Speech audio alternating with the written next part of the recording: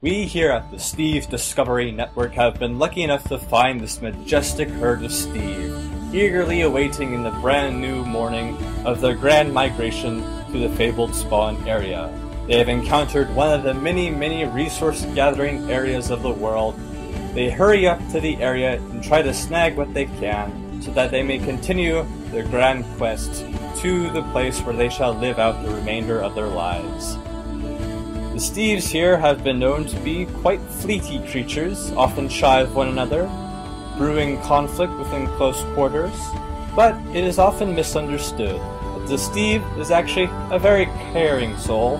It is just that when you give it a very sharp stick, they tend to be rather violent towards their own kind. We see here in the cold plains of Minecraft a conflict brews between two young Steves as they fight for dominion over this large snow pile. We see the chainmail-footed Steve is not wanting the bow-wielding Steve on his land, and so he knocks him off the snow chunk. But he is not willing to let it get away so easily. It's all or nothing for these Steves, for after the slaughter is done, the innards of Steves explodes into what could be a variety of resources, ranging from miscellaneous weapons and armor to just a poor raw fish.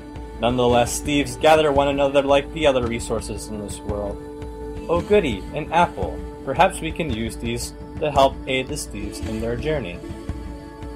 Atop this grand hill, we see another young pair of Steves. They seem to be rather interested in one another. These could be a rare kind of Steve that are, uh, I guess not. Well, that was not as much of a successful encounter we here at the Steve Discovery Network would have liked, but perhaps we can gain more valuable information from these two young Steves.